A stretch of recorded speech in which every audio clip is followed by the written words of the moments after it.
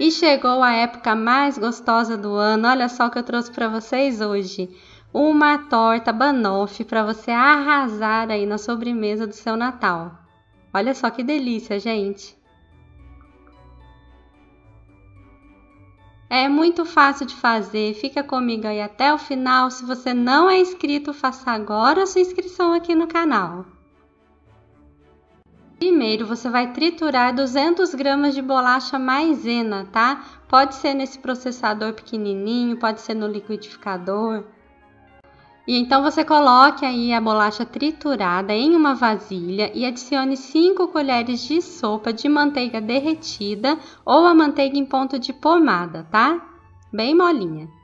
Aí você mistura bem e vamos forrar aí uma assadeira, de preferência de fundo removível, tá? Uma assadeira pequena. Essa minha assadeira ela tem 18 centímetros. Você vai cobrir o fundo da assadeira com a bolacha triturada e vai também subir um pouquinho aí na parede da assadeira, tá? Como estou mostrando aí no vídeo. Leve para assar em forno médio pré-aquecido por 10 minutinhos. Reserva lá a assadeira com a massa e vamos agora bater o chantilly. Você vai usar 200 ml de chantilly já pronto para bater, bem gelado, e aí você vai bater com a batedeira, tá? Até ficar em uma consistência mais firme.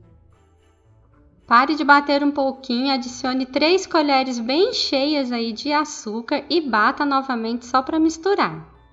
Agora nós vamos montar a torta. Eu usei 400 gramas de doce de leite, daquele doce de leite pronto já de supermercado, tá? Coloque aí na base de bolacha da torta e espalhe bem com uma colher.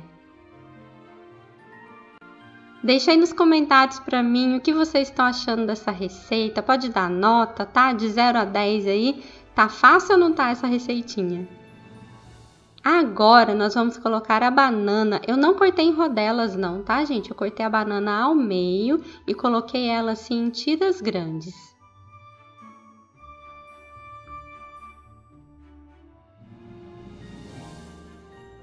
Fez a camadinha aí de banana, você vai polvilhar um pouco de canela em pó.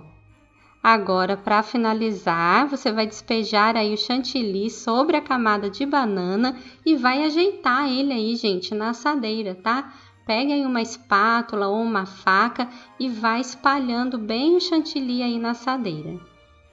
Deixe essa torta na geladeira por pelo menos duas horas antes de servir, tá? Para ela dar uma firmadinha. Na hora de servir, você polvilha uma misturinha aí com um pouco de chocolate em pó e canela em pó. Prontinho, gente, olha só que delícia que ficou essa torta. A nossa primeira receitinha aí de Natal. Agora eu vou pedir para você deixar nos comentários também mais sugestões de receita para a gente fazer nesse final de ano e, gente, vamos curtir a receita, né? Receita rapidinho. Quem aí no YouTube ensinou uma torta banoffee em menos de 4 minutos? Não tem, né, gente? Vamos valorizar a receitinha. Eu conto com vocês. Olha só que delícia. Ficou bom demais, gente. E essa foi a receitinha de hoje. Muito obrigada para você que assistiu o vídeo até aqui e até a próxima receita!